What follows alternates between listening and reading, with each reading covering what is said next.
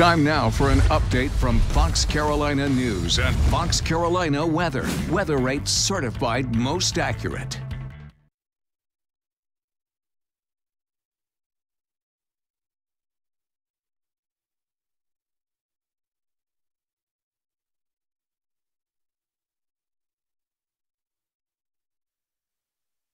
Time now for an update from Fox Carolina News and Fox Carolina Weather. Weather rates certified most accurate.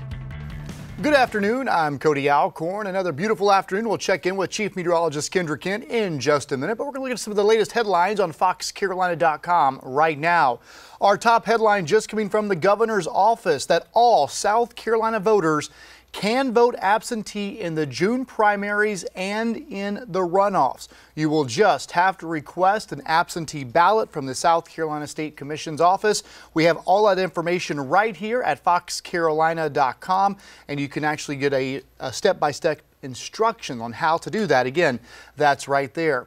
Another story just coming out Miss South Carolina and Miss South Carolina teen postponed until June of next year due to COVID 19. We have all the details on how that will play out at foxcarolina.com.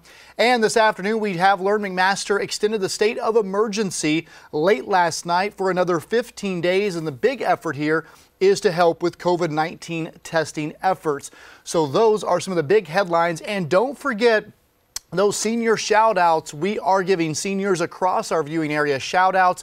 Of course, many of them not being able to have a traditional graduation. We now have a tab at foxcarolina.com. You just click on that and you could submit that photo. Just do not submit a professional photo.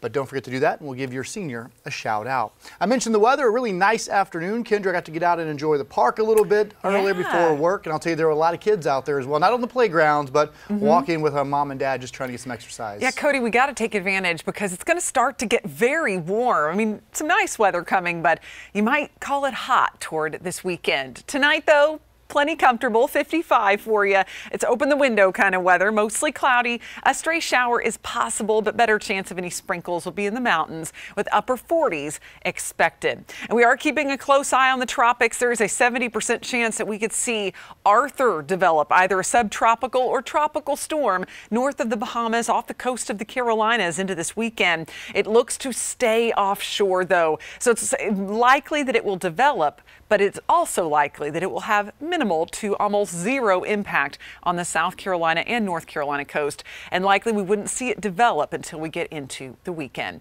We'll have much more coming up on the 4 and 5 o'clock newscast as well as 10 o'clock tonight, and be sure to watch the morning news for the latest as you step out the door and download the Fox Carolina News app.